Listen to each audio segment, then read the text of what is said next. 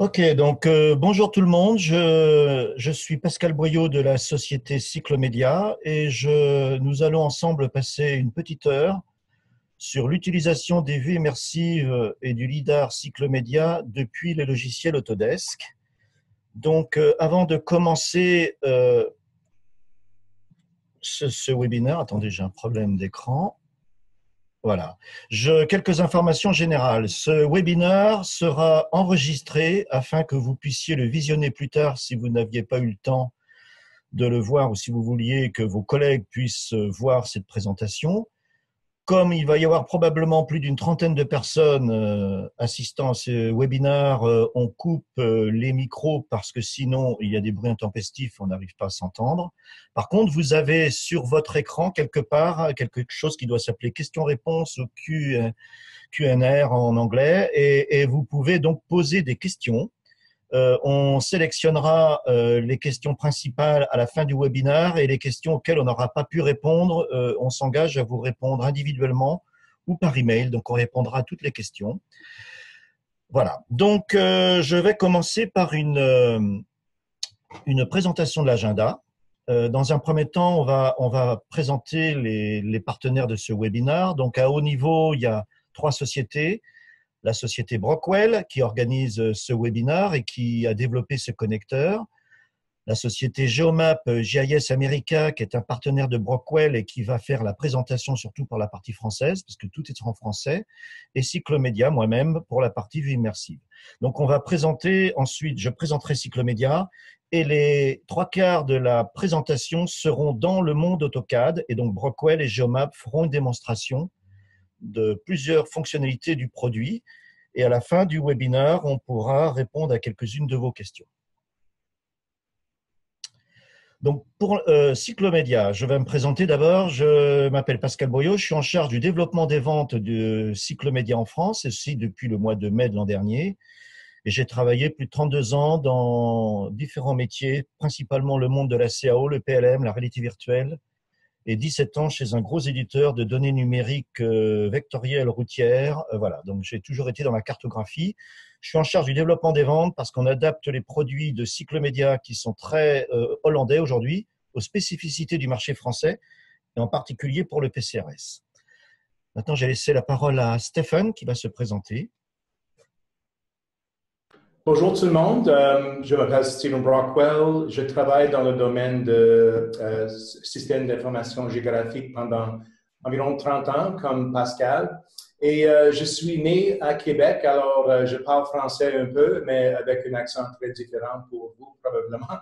Mais j'ai commencé la société Brockwell il y a environ 10 ans pour donner des conseils aux clients pour faire l'intégration avec les produits Autodesk et les produits Esri, euh, SAP, Maximo, les autres euh, intégrations pour améliorer le business pour les réseaux, plutôt électriques, gaz, de l'eau. et ça nous fait plaisir d'offrir une intégration avec Cyclomedia, qui est une des meilleures ou le meilleure façon de collecter les euh, données LIDAR euh, et les, euh, les, les, points, nuages de points. et merci beaucoup ici. Voilà, je vais laisser la parole à Yannick Veillé qui va se présenter. Oui, bonjour à tous. Euh, donc, mon nom est Yannick Veillet. Donc, je suis chargé de projet et analyste en géomatique pour euh, Geomap GIS America. Euh, donc euh, moi j'ai pas mal travaillé autour de des depuis euh, à peu près une vingtaine d'années. Et, et, donc dans le cadre de, de cette présentation avec avec Pascal, donc Cyclomedia, et puis notre partenaire Brockwell IT ici au Québec.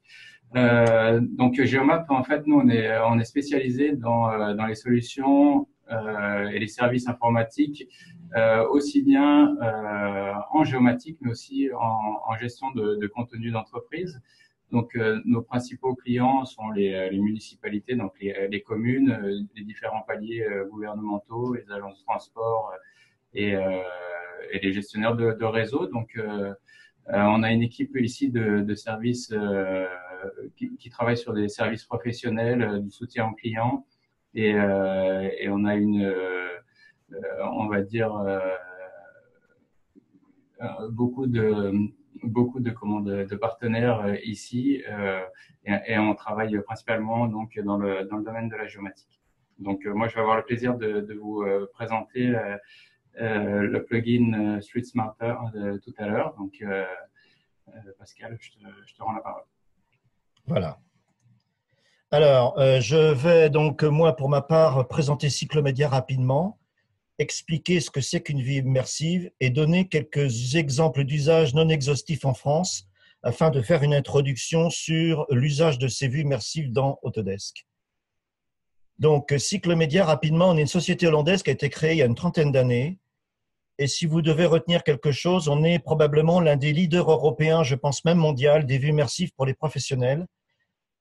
Pour citer que deux noms, on a deux concurrents ou, des gens qui ne sont pas tout à fait sur le même marché. On est un peu dans les mêmes applications que Google avec Street View, mais Google, vous verrez que Google a un excellent produit qui s'appelle Street View sur lequel vous ne pouvez pas mesurer. Et la très grosse différence entre les vues immersives cyclomédia et celles de Google, c'est que nous, on peut mesurer sur les images de façon centimétrique.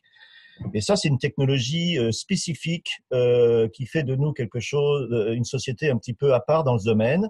On a un autre, une autre société qui s'appelle IR. D'ailleurs, je suis un ancien de IR, mais ils sont plus spécialisés sur les vues immersives dans le monde automobile, sur les autoroutes voies rapides, etc. Et donc dans, le, les villes.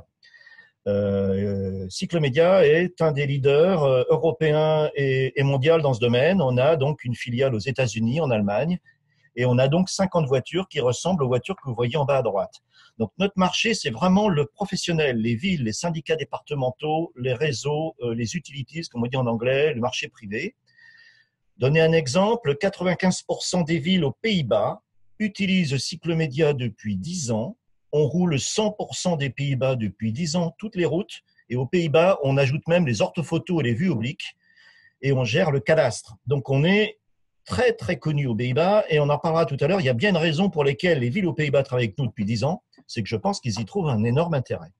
Notre précision, donc les données non seulement sont faciles à utiliser, mais elles sont précises. La précision de mesure est centimétrique, parce qu'on peut mesurer sur les images, et la précision sol, ce qu'on appelle la précision absolue, est de l'ordre de 10 cm, mais on s'approche souvent des 5 cm en, en rural et à 5 cm quand on met des points de contrôle.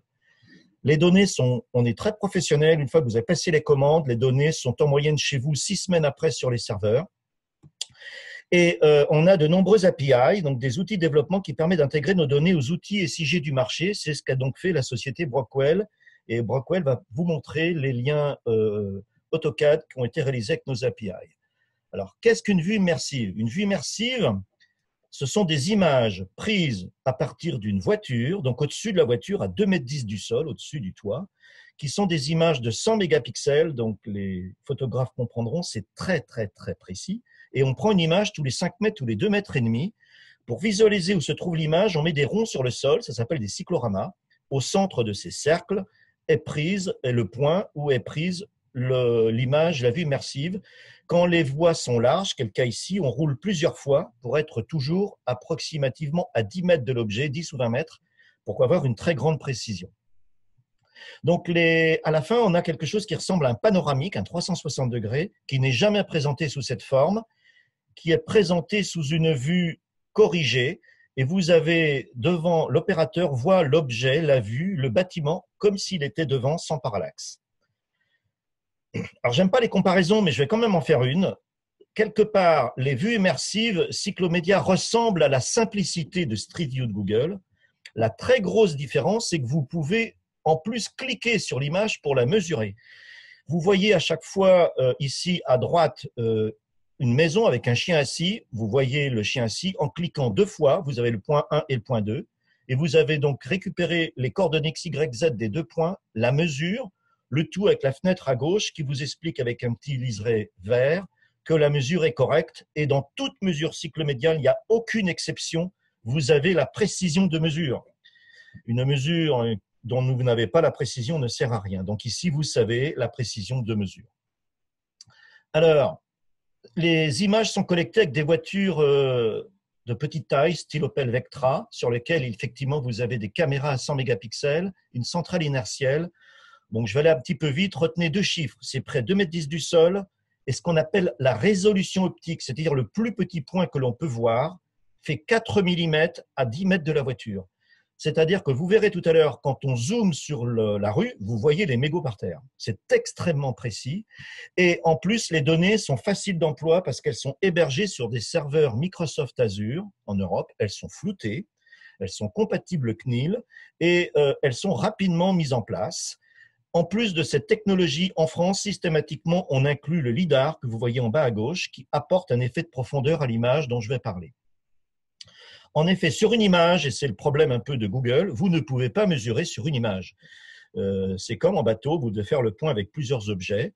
Sur une image, on ne peut pas mesurer. Alors, on a une autre technologie historique chez Cyclomédia, mais en France, ce qu'on pousse, c'est le LIDAR, qui vous permet d'avoir sur l'objet une cible ici, que vous voyez en vert avec des ronds, qui épouse la forme de l'objet quand on se déplace.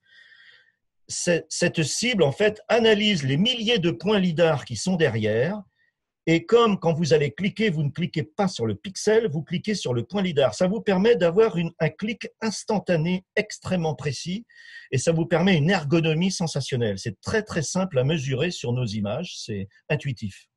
Donc c'est un des nombreux avantages du LIDAR qu'on pousse en France comme une obligation, on va dire. Alors quelques exemples d'usage avant de passer à la démonstration. Et avant de passer aux usages, je vais rajouter un usage un petit peu spécifique et je pense que c'est un peu confus dans beaucoup d'esprits des gens. Comment peut-on passer d'images de vue immersive à du 3D Vous avez sur ce schéma à gauche des milliers d'images qui sont prises donc tous les 5 mètres ou 2 mètres et demi. Ces images, par calcul, ce qu'on appelle ça de la photogrammétrie, on en fait des points en 3D. Ces points, on les met dans l'espace, on rajoute les points lidar, on les maille avec des petits triangles. Ces petits triangles, ça devient une peau 3D sur laquelle on colle la texture, c'est-à-dire nos images.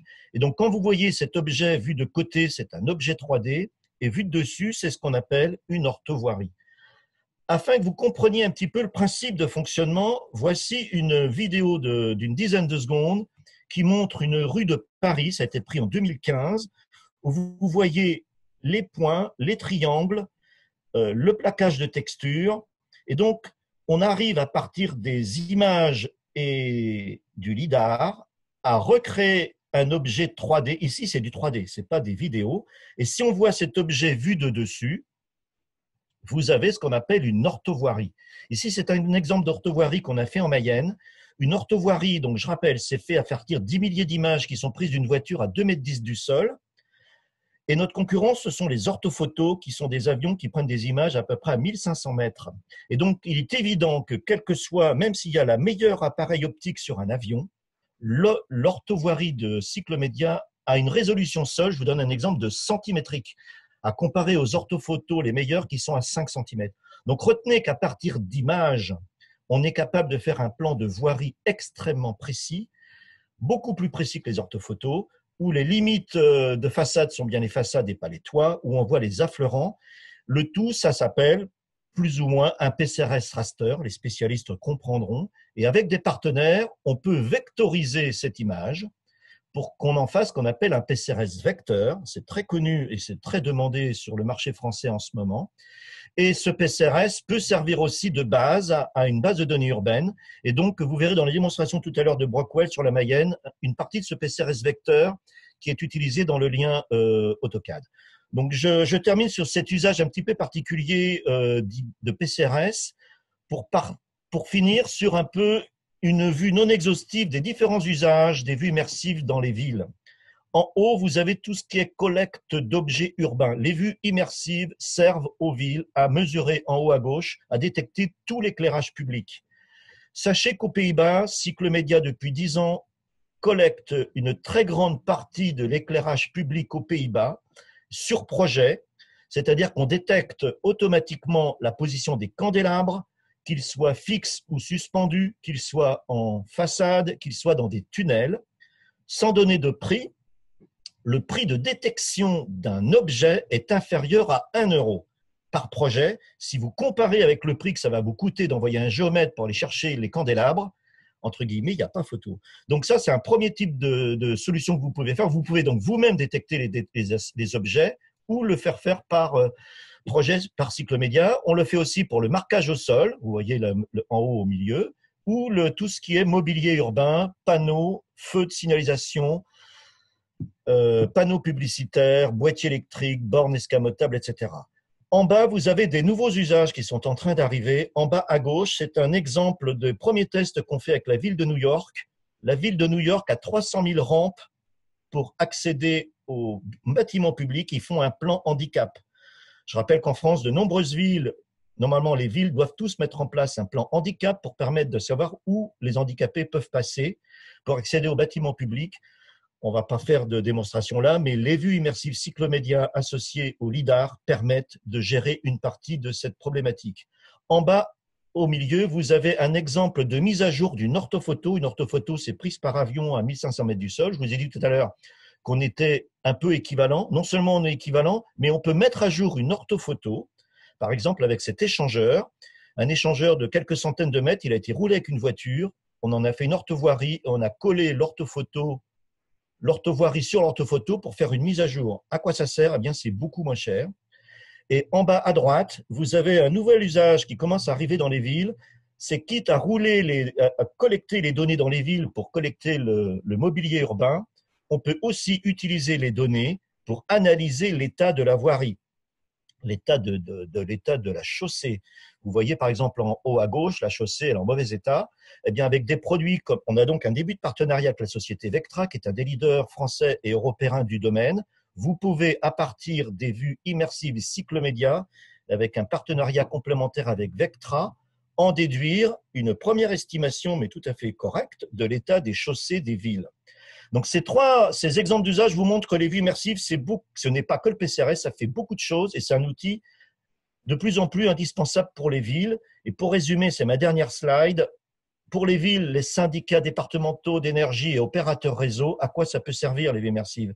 Ça peut servir à mettre à jour les bases de données urbaines, à mettre à jour les orthophotos, à gérer le mobilier urbain, l'éclairage public, les boîtiers, les panneaux publicitaires, la végétation, le plan de stationnement, collecte du marquage au sol, signalisation, analyse visuelle de la voirie, plan handicap.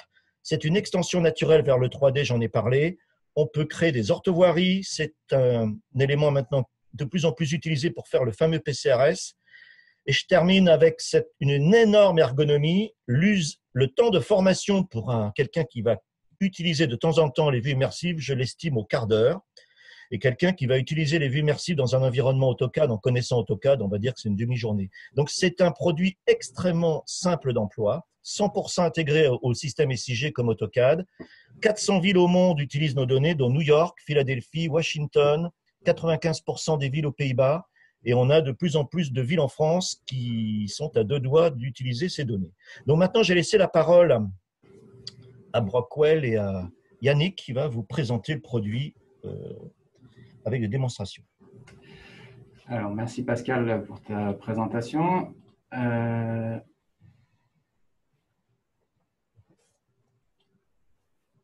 donc, euh, euh, moi, ma, présentation, en fait, elle va se, diviser en, deux parties. donc, dans la première partie, je vais vous je vais vous montrer en fait, on va avoir un petit aperçu d'ensemble des, des, fonctionnalités du, du plugin euh, StreetMart, euh, ainsi que différentes utilisations qu'on peut en faire. Donc, euh, je vais vous présenter ça quelques pages à, ce, ce, sujet. ensuite, la, seconde partie sera plus orientée démonstration. Donc, ce, sera sous la forme de, plusieurs vidéos représentant différents exemples d'applications que l'on peut faire avec avec le plugin StreetSmarter pour Cyclomedia. Donc, euh, on va commencer par, euh, la petite présentation. Donc, euh, Pascal, tu, l'as mentionné tout à l'heure, l'utilité d'avoir des, vues immersives, euh, ça va être, en résumé, euh, ça va être de capturer la réalité. Et, euh, et ce, ça va nous permettre en fait de d'intervenir, d'avoir des interactions euh, sur, notamment sur la gestion des, actifs, avec euh, la géolocalisation euh, d'objets, par exemple, l'inspection, l'inventaire et l'évaluation de l'état des actifs. Donc ça, c'est très important. un deuxième point aussi qui, est important, c'est l'évaluation pour la, planification. Donc, quand on a la possibilité de d'associer un outil, un outil CAD ou un outil GIS avec des, vues immersives comme ça, euh, ça peut être intéressant, par exemple, pour la révision de zonage de bâtiments ou l'évaluation de l'état des infrastructures. Euh, un autre point important aussi euh, au niveau de la sécurité publique, ça peut permettre d'anticiper des problèmes. tu en as parlé, Pascal, tout à l'heure au niveau de des problèmes de chaussée, par exemple, au niveau de dégradation de, de chaussée.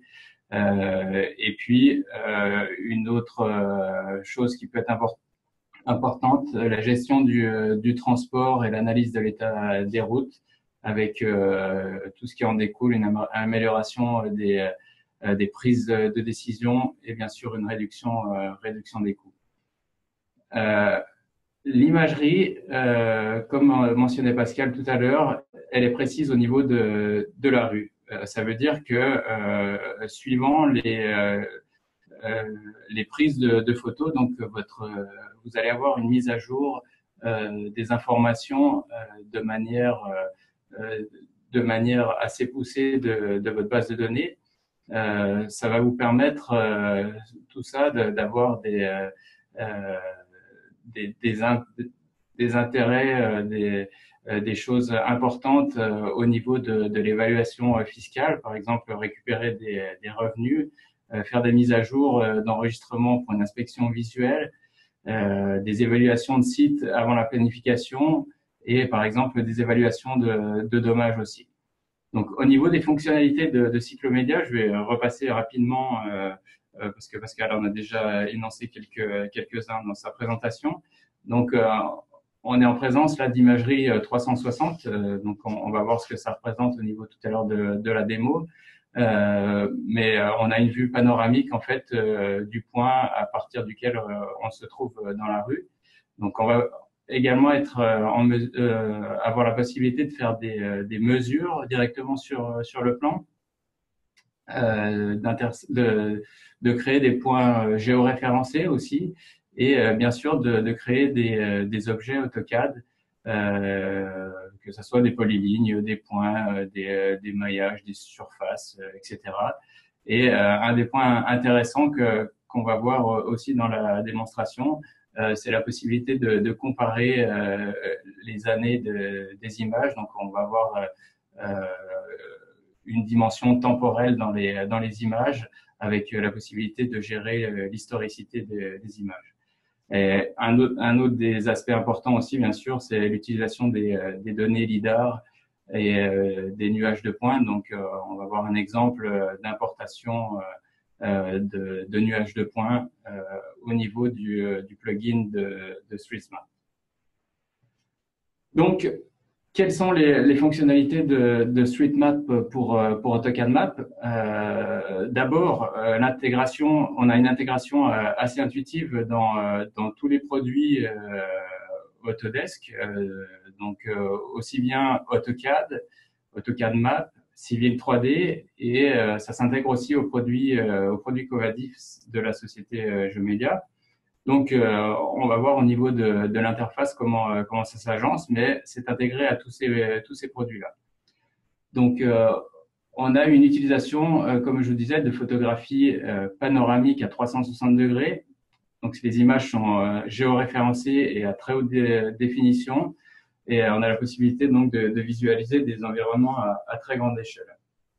Donc, la navigation est relativement est très fluide à partir de euh, de flux en fait euh, WFS qui sont gérés sur euh, sur les serveurs de, de Cyclomedia. Donc, on va voir que que la fluidité de de la navigation est, est assez intéressante. donc, on a des fonctionnalités qui permettent qui permettent de mesurer, donc faire de la mesure aussi bien 2D, 3D, de la mesure de distance, de la mesure de, de surface. Et euh, ce qui va être intéressant, c'est que ces, euh, ces mesures euh, vont être vont pouvoir être intégrées en tant qu'entité AutoCAD dans l'environnement AutoCAD que vous utilisez. Donc aussi bien du point, du texte, des blocs, des polylignes, des polygones aussi également. Donc, comme, comme je vous mentionnais, on a une dimension temporelle, donc on va pouvoir comparer des vues grâce à, à l'historicité des, des, images. Donc, ça, c'est quelque chose qui est, qui est intéressant. Donc, on va pouvoir aussi également euh, visualiser et automatiser l'importation des, euh, euh, des nuages de points LIDAR et, au niveau de au niveau d'AutoCAD. Et une autre fonctionnalité intéressante, c'est qu'on va pouvoir, à partir de notre dessin 2D, euh, ajouter une élévation euh, à nos objets. Donc, euh, à partir de cette élévation va être calculée automatiquement à partir des, données euh, prise sur, au niveau de, au niveau de l'image. Les utilisations qu'on peut avoir à travers les, les applications Autodesk sont, sont, assez nombreuses. Donc, on a la possibilité, suivant les, les logiciels sur, sur lesquels le plugin StreetSmart va être installé, on va avoir la possibilité, par exemple, de, créer et maintenir euh, des dessins pour, euh, pour approbation. Donc, euh, pouvoir, pouvoir travailler à la fois sur, sur du CAD et sur, sur l'image intégrer des, des, fichiers, donc CAO, PDF, Shape, Excel et toutes sortes de, de bases de données.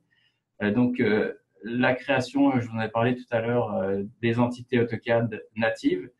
Donc, on est vraiment dans un environnement AutoCAD, donc on a toute la puissance des logiciels euh, Autodesk et euh, on va, on va pouvoir donc gérer toutes, euh, toutes sortes d'entités. Donc synchroniser aussi, on a la possibilité de synchroniser les DWG avec un modèle métier suivant, le, suivant le cas. Donc utiliser toutes les propriétés AutoCAD pour les couches et les symboles stockés dans le, dans le modèle de données. quand c'est possible, stocker dans la base de données aussi du GIS euh, stocker les données aussi à l'aide de, de, FDO, donc euh, euh, des couches, des couches associées, des couches GIS associées à, notre environnement Autodesk. Et bien sûr aussi lire directement des, des formats ArcGIS ou d'autres d'autres types d'applications disponibles. Donc quelques types d'utilisation au niveau de, Map 3D. Donc, c'est sûr que quand on a, le, plugin est intégré au niveau de, Map 3D. On a toutes les fonctionnalités euh, cartographiques euh, qu'on peut utiliser euh, de Map, donc qu'on peut associer aux fonctionnalités du plugin. On va pouvoir aussi avoir toutes les fonctionnalités de validation d'objets connectés, donc tout ce qui est FDO, base de données, etc. Et donc ça, ça va pouvoir nous permettre de, de, faire des mises à jour de données CAD et GIS euh, de manière beaucoup plus, euh, beaucoup plus simple. Donc, euh, au niveau de, de Civil 3D, et ça peut être également le, même cas avec, avec les produits Covadis. Donc, on va pouvoir utiliser par exemple des, mesures pour les travaux sur, sur l'infrastructure existante, créer des alignements à partir des, images disponibles sur, sur et bien sûr intégrer toutes ces, euh, données-là au, modèle, euh, au modèle civil 3D. Euh, Donc tout à l'heure, je vous ai parlé des, outils de mesure et on va aller voir un peu plus dans, dans la démonstration à partir des, des vidéos. mais, mais, mais, là, dans cet exemple-là, on voit un exemple de, de, de surface qui, est, qui est mesuré sur, directement à, à partir de l'image.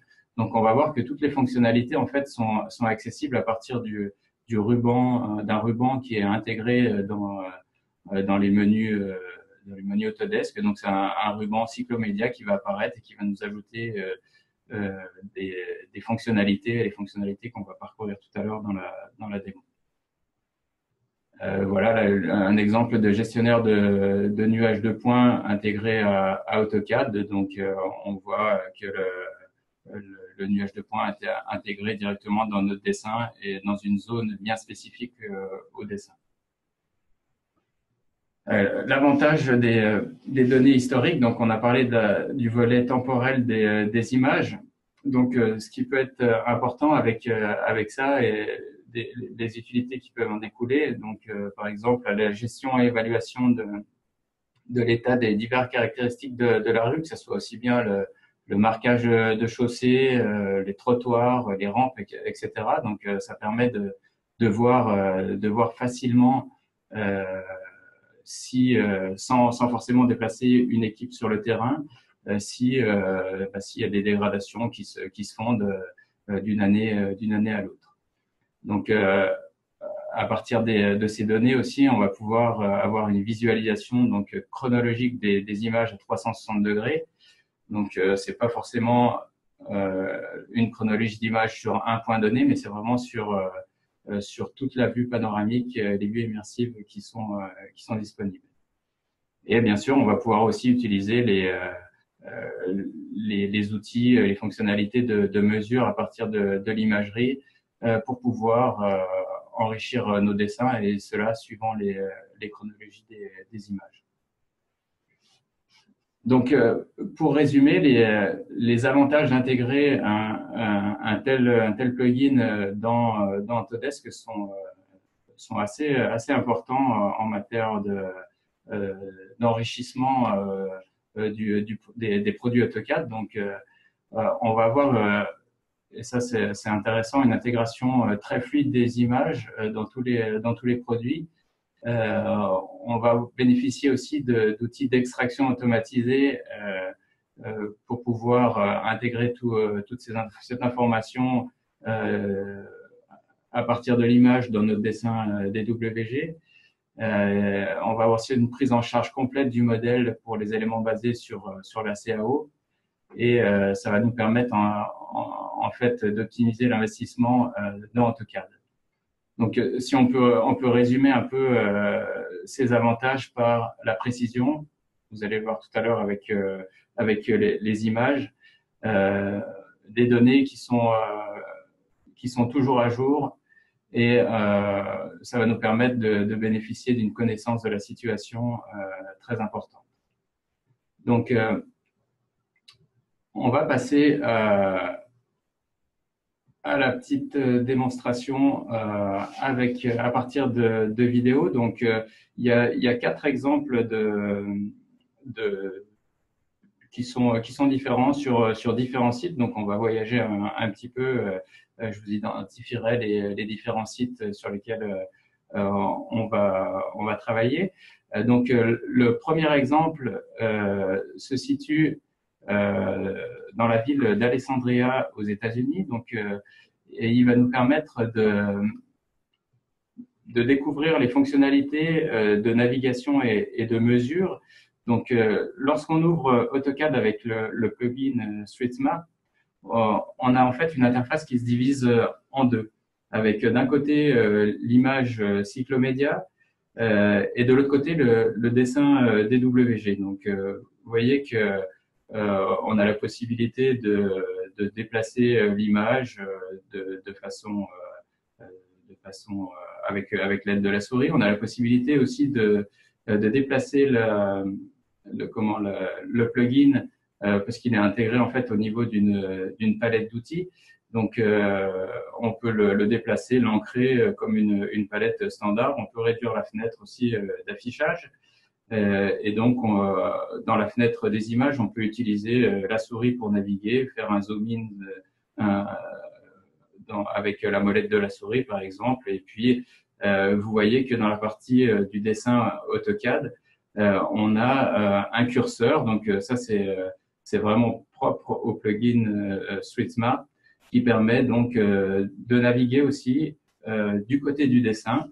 Donc, on voit que suivant où, on place euh, le curseur AutoCAD sur le curseur euh, StreetMap, euh, il change de couleur. Donc, on va pouvoir, par exemple, le déplacer, le, l'accrocher sur, en le déplaçant, l'accrocher directement sur, sur le filaire de rue.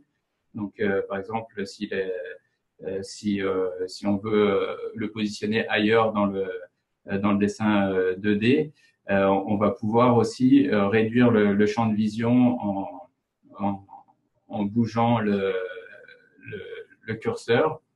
Et, euh, et, vous voyez que euh, à chaque fois qu'on bouge l'image, ben, le curseur se, déplace.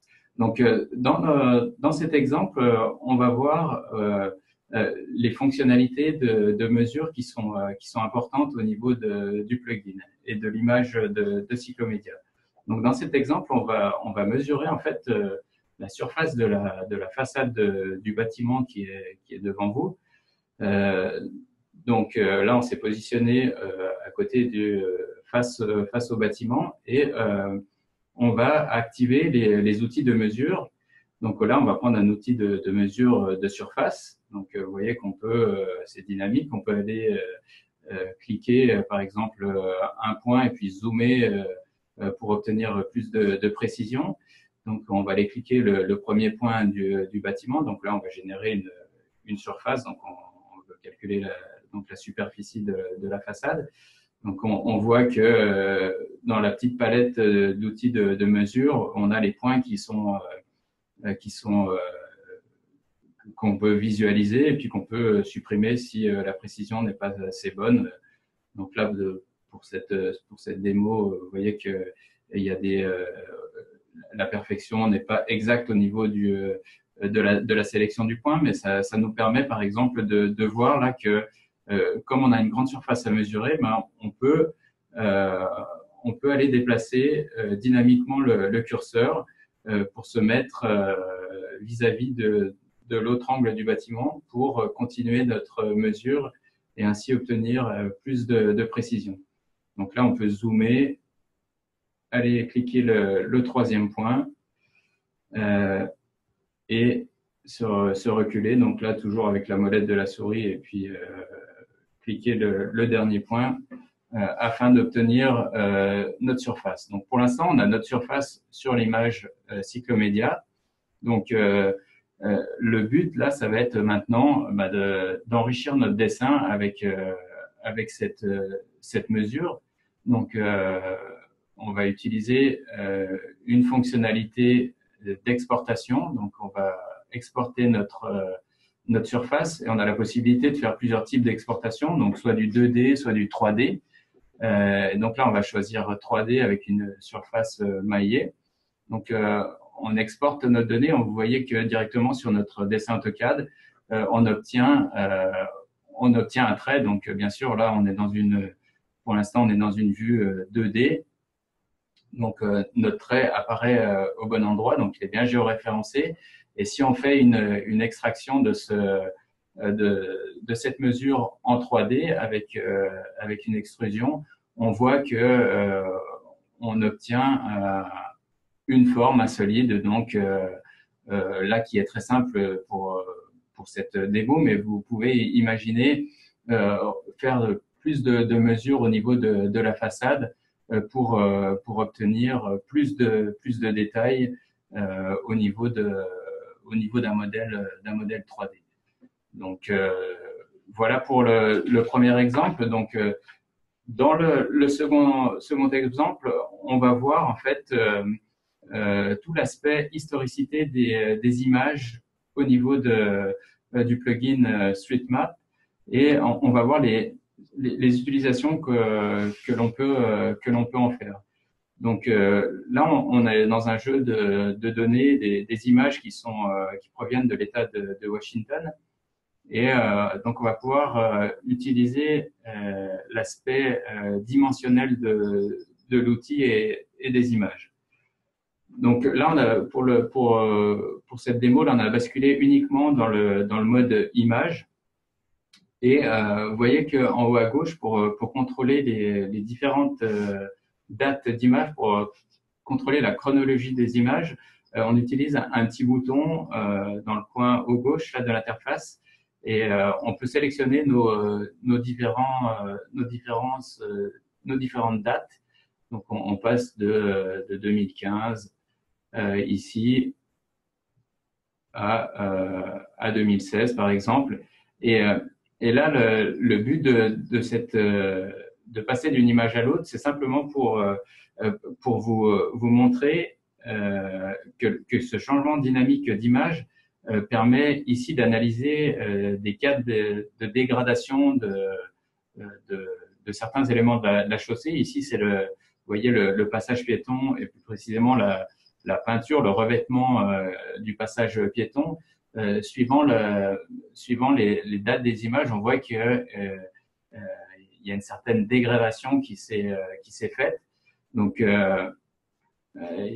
c'est pour vous montrer donc l'utilité de, de cet outil-là, sans forcément déplacer une équipe euh, sur le terrain sans forcément mobiliser des, euh, des ressources et, du monde, on peut facilement euh, euh comment voir la, la, dégradation d'un d'un élément de la chaussée ou de, de tout ce qui de tout ce qui l'entoure et ça permet facilement donc de planifier par exemple les travaux à venir et euh, surtout une chose euh, importante, euh, évaluer les évaluer les coûts. Donc donc ici c'est vraiment un gain important pour pour pour les utilisateurs et les, gestionnaires.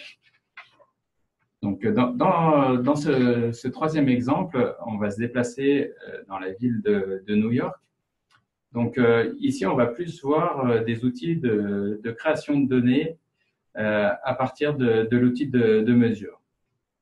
Donc, euh, on a ici un, fichier de, corps de, rue qui est en format DWG, euh, avec un système de, de coordonnées euh, aussi associé au dessin. Donc, c'est un dessin géoréférencé. Et on a l'image cyclomédia de, de l'autre côté. Donc, on va vous montrer comment on peut facilement euh, comparer le, le dessin et l'image et surtout mettre à jour euh, les dessins parce que dans le, dans le cas de, notre dessin, par exemple ici, euh, il manque des, euh, des, certains éléments, euh, notamment du, euh, du, marquage au sol. Donc le fichier des WG est incomplet et la présence de l'image à travers le, le, plugin StreetMap va permettre d'enrichir en fait notre dessin de manière, de manière très simple. Donc, euh, euh, on va pouvoir euh, ajouter de, des, des, objets AutoCAD directement à partir des, des, des, outils du plugin. Donc, bien sûr, là, là dans, dans, cet exemple, on va montrer un, un élément qu'on peut, qu'on peut rajouter un élément de, de marquage, hein, mais ça, ça peut s'appliquer en fait à n'importe quel type euh, d'objet, aussi bien des, des plaques d'égout, des bordures de, de trottoirs, euh, des arbres, euh, du, du mobilier urbain, etc. Donc elle, là, on va se, positionner au bon endroit sur, sur notre dessin. Donc notre curseur est, bien positionné au niveau du, dessin et on va aller utiliser euh, au niveau du plugin euh, StreetMap euh, les fonctionnalités de, de, localisation. donc là, on, va créer, on va créer un bloc. Hein, donc c'est vraiment un, symbole avec. Donc on va matérialiser un symbole avec une une élévation. Donc, on va prendre un symbole en, en 3D et euh, on, va aller euh, utiliser euh, les outils de, localisation pour, pour aller positionner notre point sur, sur l'image. Donc, comme tout à l'heure, on a la possibilité d'aller zoomer, d'aller de se déplacer soit à partir de la molette de la souris, soit avec les, les cycloramas, les ronds bleus là sur, sur l'image. Et donc, on va aller pouvoir, on va pouvoir euh, sélectionner un bloc euh, AutoCAD qui est défini euh, dans notre dans notre dessin ouvert sur la droite. Et là, on va aller sélectionner notre bloc, notre bloc de, de flèche vers la gauche. On va simplement cliquer sur sur OK et notre notre bloc apparaît au niveau euh, du fichier AutoCAD.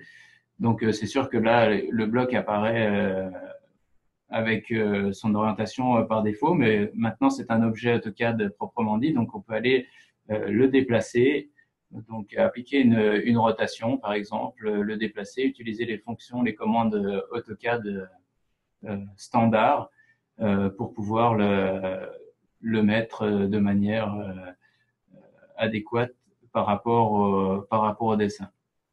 Donc ça, c'est notre premier, premier exemple. On va, on va faire un, autre petit exemple euh, au niveau de au niveau du marquage encore. Donc, juste pour vous montrer que euh, les outils de mesure sont accessibles dans la barre d'outils en bas, mais aussi par, euh, par cette, ce menu déroulant au niveau de, de l'image immersive. Donc là, on va continuer à se déplacer dans le, dans le dessin et puis on voit qu'on remarque aussi qu'il manque encore une, une flèche vers la gauche. Donc, on va aller en rajouter une euh, rapidement. Donc, on va aller cliquer, euh, cliquer le point. Donc, vous voyez qu'on peut zoomer sur euh, pour obtenir un peu plus de précision. cliquer sur sur l'image et retourner sélectionner notre notre flèche pour l'intégrer au dessin. Donc, comme je vous disais, là, on, a des flèches, hein, mais suivant euh, on a du marquage au sol, mais ça peut être très bien euh, euh, d'autres types d'informations qu'on va venir collecter sur l'image et intégrer au dessin. Donc, c'est une manière très intéressante de, pouvoir collecter l'information aussi bien en 2D qu'en 3D. Donc, ça, c'est un aspect qui est, qui est pas négligeable, c'est qu'on peut bénéficier du, du 3D au niveau de notre dessin, de notre dessin AutoCAD. Donc, euh, par exemple, là ici, là, au niveau de la 3D, là, quand on est sur un, un candélabre, on peut mesurer, par exemple, là, il y a une, caméra sur euh, l'image, on peut aller, euh, on peut aller mesurer la, distance qui nous sépare du sol de la caméra. on peut aller répertorier différents types d'informations. Une autre chose qui est, importante au niveau de, des dessins AutoCAD, quand on fait de, la construction, euh, c'est l'aspect euh, des cotations.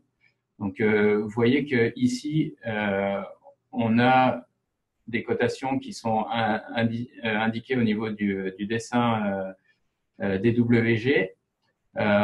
On va être en mesure d'aller, à partir de notre image, positionner des, de nouvelles cotations, aller prendre des mesures directement sur notre image et les répercuter sous forme de, euh, de cotation au niveau, de, au niveau du dessin. Donc là, on, on va désactiver euh, le calque d'enregistrement euh, cyclomédia et euh, on va aller prendre une distance pour mesurer une largeur entre deux lignes euh, de, circulation. Et donc, vous voyez qu'on va cliquer notre premier point, on va cliquer notre second point, donc notre curseur continue à, bouger euh, sur la partie, euh, droite de, l'écran. Et euh, donc là, on s'aperçoit que la distance mesurée n'est pas conforme à notre, à notre distance. Donc là, c'est une distance en pied parce que le, dessin est en pied. Donc on voit qu'on a un message d'erreur qui nous dit attention, la, la précision est pas assez importante. Donc il faut que en fait, on se, on se rapproche un peu et euh, qu'on euh, ou plutôt qu'on se recule euh, pour avoir une meilleure, un meilleur angle de, de, distance. Donc là, on va refaire notre, notre distance. Donc on clique le premier point, le second point. Donc là, c'est plus conforme à la, réalité et euh, on va aller cliquer sur euh, mesure euh, d'exportation. Donc, on va aller déjà sélectionner notre le type d'entité qu'on va exporter, mesure d'exportation, et on voit notre notre ligne qui apparaît. Donc, bien sûr, c'est le, le, texte avec le style par défaut qui, qui apparaît. Donc, dans, dans ce cas-là, il faudrait euh, ajuster le, le style euh, pour qu'il soit un peu plus gros, mais on voit que le résultat est bien conforme à la, la distance qui a été mesurée sur, euh, au niveau de, au niveau de, de la route. Donc on, peut, on peut exporter facilement les données et les mesures et donc enrichir, enrichir de manière, facile le, dessin pour, euh, le rendre bah, plus, lisibles et puis permettre une, mise à jour très facile, des données. Donc, dans notre dernier exemple, donc, on va changer de continent. On, va aller en France, donc dans la ville de Laval. Donc, on va voir un exemple de, comment les, composants en fait leader du, plugin euh, vont nous aider à, manipuler et importer des, données et bien sûr à naviguer euh, dans le nuage de points. Donc, euh, on, remarque que dans le dans le ruban on a une, une table pour, pour les nuages de points. Donc là, on va les sélectionner sur notre poste, le répertoire où se trouvent nos, nos nuages de points.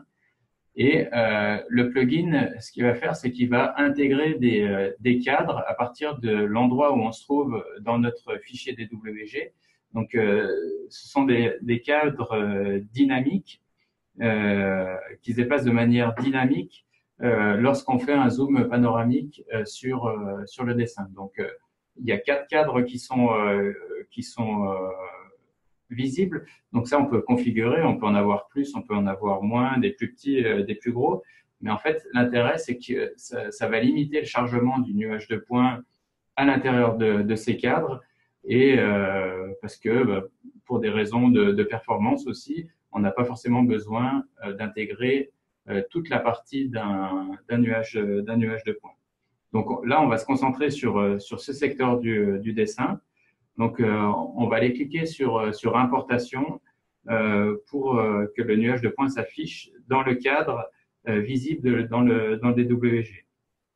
Donc, après, on peut aller désactiver, si on veut, les couches pour faciliter les couches de, de cadre pour faciliter la visualisation. Et, et ensuite, donc voilà, on va basculer en mode sans cadre. Et on va avoir la possibilité, comme on est dans un nuage de points 3D, euh, de basculer dans un mode de, représentation euh, en trois dimensions avec, euh, avec la possibilité d'aller euh, d'aller parcourir euh, le modèle le modèle 3D donc donc là on, utilise complètement les, les outils les outils d'AutoCAD donc là on a utilisé les, les outils de euh, du plugin pour euh, intégrer les, les le, le, nuage 3D, les, euh, les informations du LIDAR à partir du, du, plugin. Mais maintenant, on utilise donc les fonctionnalités 3D de, d'AutoCAD ou, du produit Autodesk que vous utilisez pour naviguer dans le dans le dans l'outil. Donc après, on a la possibilité, à travers le résultat du affiché à l'écran, euh, de euh, faire euh, des analyses. Donc, euh, on, on, peut, on peut aller faire des extractions de données, créer des, des classifications d'éléments. On peut faire des, des, filtres aussi également. Donc là, dans cet exemple, par exemple, on a filtré les, les éléments de, de, la chaussée et euh, on a remis des, euh, des solides simples au niveau des, des façades des, des, bâtiments. Donc on voit les, euh, les positionnements des, des, rectangles euh, au niveau des, des bâtiments. Donc, euh, on a pu faire un, un filtre, enlever la partie de, de la chaussée pour pouvoir visualiser l'ensemble du, du modèle qu'on a qu'on a épuré en fait. Donc, on, on voit bien les, les façades, bien sûr simplifiées des, des différents des différents bâtiments représentés sur sur le, nuage de points. Et, euh, et c'est ça. Donc, euh, vous voyez que c'est quand même euh, relativement, euh, relativement simple. Il y a une, bonne fluidité au niveau du, de, de, de, la navigation. Et un des autres aspects qui est, qui est important et qu'on a, dont on a parlé tout à l'heure, c'est la possibilité d'appliquer des élévations à certains objets de la carte. Donc là, tout à l'heure, on avait juste le, le nuage de points euh, de, à l'écran. Maintenant, on a aussi bien le nuage de points et le corps de rue. Donc, vous voyez qu'il y a un décalage entre les, les différentes données. Euh, le corps de rue est représenté en, deux dimensions. Donc, il, il, est beaucoup plus bas que, que, le, que le, le, le, nuage de points. Donc là, on va prendre un exemple de d'un objet AutoCAD ici, dans cet exemple, c'est le, bâtiment qui est au coin du, au coin du mur dans l'image, dans euh, qui ressemble à une petite guérite. Euh, donc, euh, on va aller euh, regarder euh, son, son altitude est à, est à zéro. On a vu dans, dans le plan, donc avec la, la, possibilité ici d'utiliser la fonction élevée qui va nous permettre d'aller sélectionner notre objet AutoCAD sur la carte et automatiquement, lui, il va aller chercher euh, le Z, donc l'altitude du point euh, sur lequel on se trouve au niveau de, de l'image. Donc, euh, vous voyez que là, ici, on est à peu près à 92,9 euh, mètres d'altitude.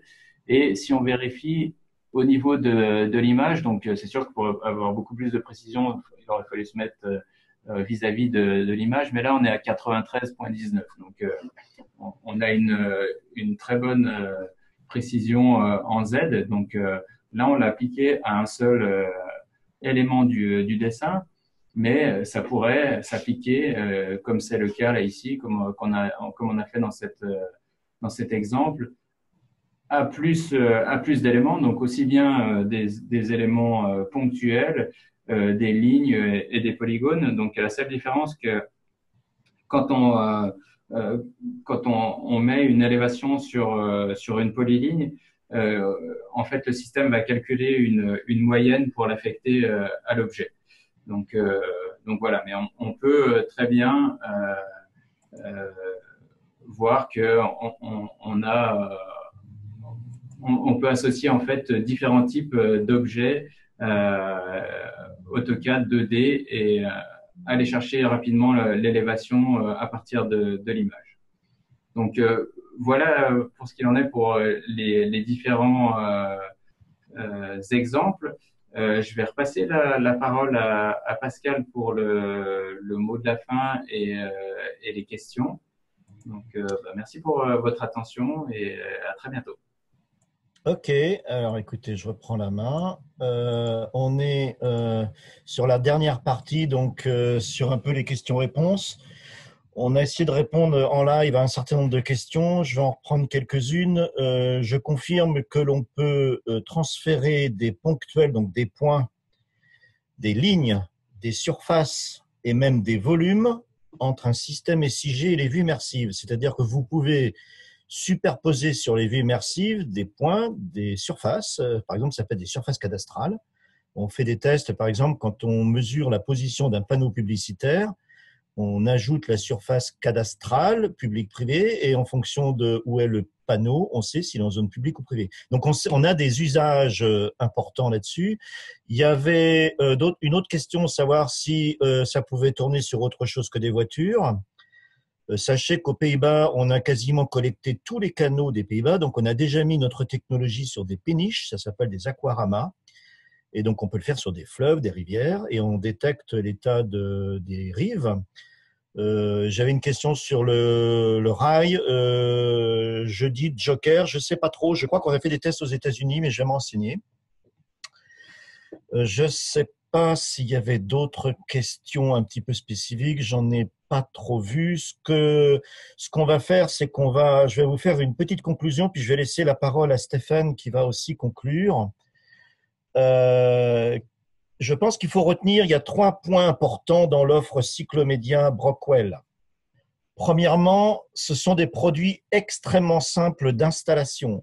Tout ce que vous avez vu, les images cyclomédia, euh, le connecteur Brockwell, il est dans ce qu'on appelle en anglais dans un mode SaaS, Software as a Service. Je ne sais pas quelle est la traduction en français. En gros, ça ressemble, c'est comme Street View de Google. Vous n'installez rien chez vous. Tout est hosté, hébergé sur des serveurs Microsoft Azure. Les données sont floutées, c'est sécurisé, il y a les backups. Ça marche 24 heures sur 24.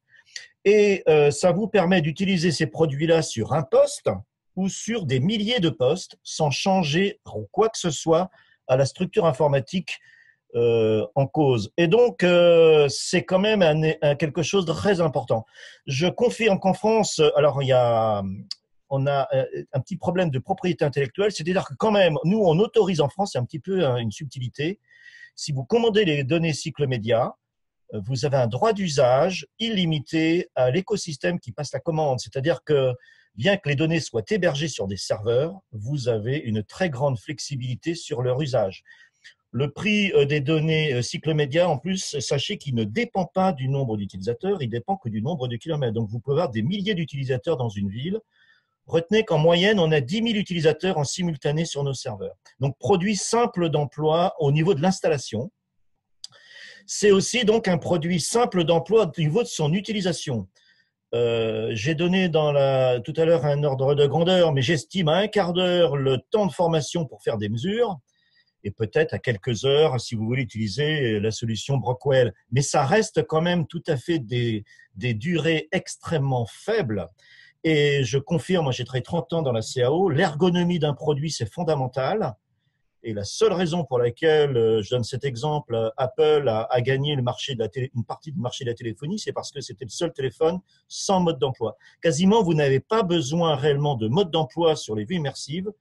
C'est intuitif. Donc, tout le monde dans votre organisation pourra utiliser de façon simple les vues immersives et les connecteurs Brockwell, mais on peut aller sur des, des, des produits beaucoup plus complexes, comme vous avez vu tout à l'heure sur la manipulation du LIDAR dans, donc, vous, vous tout le monde peut utiliser nos données. Dernier point, c'est un rapport prix-usage exceptionnel. Alors, c'est difficile à expliquer, mais vous comprendrez bien qu'en collectant les données des villes, par exemple une fois par an, si vous arrivez à mesurer euh, l'état de la chaussée, le mobilier urbain, les panneaux de circulation, le marquage au sol, etc., vous allez gagner beaucoup de temps. Euh, une ville comme Washington, je crois, a divisé par deux le coût de déplacement des techniciens. Ils se déplacent deux fois moins qu'avant. Et je donne un seul exemple complémentaire, mais qui est un petit peu caricatural, mais euh, en France, il y a une taxe qui s'appelle la taxe sur la publicité. C'est une taxe optionnelle pour les villes. Euh, l'ordre de grandeur de la taxe est de 50 euros. Je donne une moyenne par mètre carré de, de panneaux par an. Il suffit que vous ayez un mètre carré 5 de panneaux, d'accord, par kilomètre. Vous rentabilisez la vue immersive. C'est-à-dire qu'en fait, sur ce simple exemple, vous rentabilisez en moins d'un an la collecte. Alors, si vous ajoutez tout derrière, euh, c'est sûr qu'il y a un rapport prix-usage qui est vraiment euh, très. C'est un des produits pour les villes, je pense, entre guillemets, selon moi. Alors, on va essayer de vous convaincre les plus rentables. Euh, et pour terminer, c'est des produits tellement simples qu'on vous propose de les tester gratuitement. Il suffit que vous me contactiez. Euh, vous avez mes coordonnées. Euh, on vous enverra mes coordonnées ultérieurement. Euh, on peut vous envoyer un test, un lien pour tester les, données cycle média et le connecteur Brockwell si vous avez AutoCAD. Vous pourrez vous-même tester que c'est simple d'emploi et vous faire une opinion. Donc, c'est ma conclusion. Je vais laisser la parole à Stéphane s'il veut peut-être conclure lui-même. Oui, merci beaucoup. Euh, euh, pour moi, euh, je vous remercie énormément pour votre attention. On n'a perdu que deux participants. J'ai répondu de mon façon meilleure plusieurs questions. un ou deux, je veux faire des commentaires. Au sujet de InfraWorks, nous sommes en train de préparer une vidéo euh, que nous, nous, allons vous l'envoyer euh, demain, probablement. Euh, alors, on a petit, en particulier pour le LIDAR, InfoWorks est une très bonne plateforme pour le visualiser et faire de l'analyse. alors, c'est une question. Il y avait une question aussi au sujet de les versions d'AutoCAD. et pour le moment, c'est le AutoCAD 2017 et 2018. Euh, mais s'il y a de la besoin pour euh, les euh, versions plus anciennes, c'est quelque chose que nous pourrons faire selon la besoin. il y avait aussi une question au sujet de combien de entités d'AutoCAD sont supportées. Et plusieurs à ce moment, nous allons vous donner une liste de tout. Euh, mais c'est très facile euh, parce que nous avons l'architecture euh, construite pour augmenter ce que nous, ce que nous les objets ou les entités que nous créons avec AutoCAD et avec les mesures. alors, pour nous contacter, commencez s'il vous plaît avec Pascal? J'espère que mes réponses étaient assez bien entendues, mais je vous remercie encore une fois et merci beaucoup. Donc, je vous remercie tous. Je remercie vraiment la société Brockwell euh, et, et Geomap GIS de cette présentation. En conclusion, on a uniquement parlé d'Autodesk aujourd'hui. Sachez que ce que vous avez vu, il y a d'autres partenaires euh, qui ont fait des connecteurs euh, équivalents ou de même nature avec la plupart des logiciels SIG du marché parce que si vous êtes une agglomération, une ville, une collectivité locale, euh, vous avez probablement plusieurs produits. Donc, si vous voulez plus d'informations sur les autres connecteurs, euh, rappelez-moi aussi, je, je, vous donnerai de plus en plus d'informations. Donc, euh, je vous propose de clore ce, ce webinaire. On va vous envoyer un lien si vous voulez télécharger la présentation. je vais regarder s'il y a d'autres questions importantes. Je crois pas. Je pense que j'ai vu quelques commentaires, a l'air d'être clair. J'espère que tout le monde nous a entendu. Il y a quelques problèmes de casque. Ceux qui ont eu des problèmes de son, ben, on en verra la, vidéo avec le son. Il n'y a, pas de problème. Je vous remercie tous et je vous souhaite une bonne journée. Et j'espère que vous avez été convaincus de devoir pouvoir tester ces connecteurs. Le seul risque que vous avez, c'est de risquer d'être convaincu que c'est une superbe solution. Donc, vous prenez euh, effectivement un risque. Mais je blague. À bientôt. Au revoir.